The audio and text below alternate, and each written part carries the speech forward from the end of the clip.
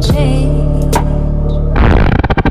So aren't you glad to meet me? I think you should, I'll be glad to meet me. What's going on guys, welcome back to another video. Today guys, I'm going to show you how to color grade your videos in Adobe Photoshop CC 2017 using LUTs, which are lookup tables, also called LUTs.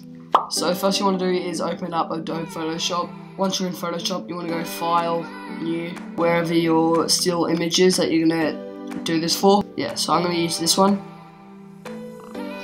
So you want to drag that across to your image and hit enter or resize it if it doesn't if it isn't the correct size.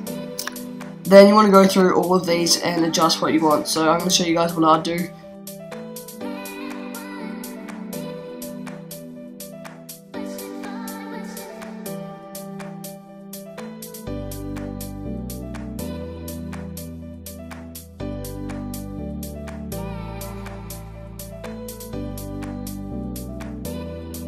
That's the editing part for this. Next you want to do in Photoshop is go File, Export, Color Lookup ta Tables, which is a LUT, which is a lookup table. Then I'm going to leave the description so it doesn't really make a difference. Copyright, if you want to copyright your LUT, I'm going to leave that though. And then I'm going to select Cube, but you guys can use 3DL and probably don't use any of those. But I don't really know that well, but I generally just use Cube grid points, leave it 32, and then leave that. We hit OK, and save it as my tutorial LUT, and then I'm to hit save. Also guys, sorry about the fan noise if you can hear that. Um, when I'm actually screen recording and running applications like this, it gets kind of overheated.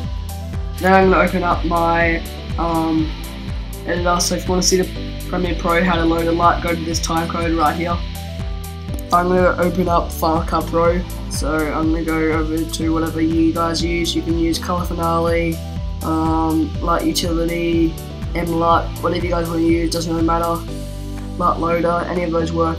Got Color Finale Pro, which is what I use to color grade. I'm probably going to make an in-depth tutorial on Color Finale Pro later. Open Controls, I'm going to do um, a lookup table, which is the LUT utility, which is the square. I'm going to click LUT name, and obviously I don't have it in here. Right, so to apply the LUT, you just hit apply, and then that's going to apply the LUT, obviously. You can adjust the opacity of what the LUT is, up and down. Okay, so now I'm going to do it for Premiere Pro users, so I'm going to open that up. Okay, so you want to open a new project, or if you're doing this for another project, obviously just open that.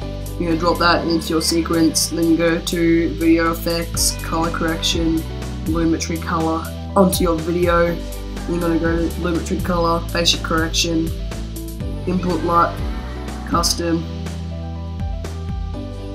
Edge, which is where mine is, Tutorial, and then Open. Anyway guys, that's it for this video. If you guys did enjoy, be sure to drop a like, share if you enjoyed, subscribe if you're new, and I'll see you guys in the next one.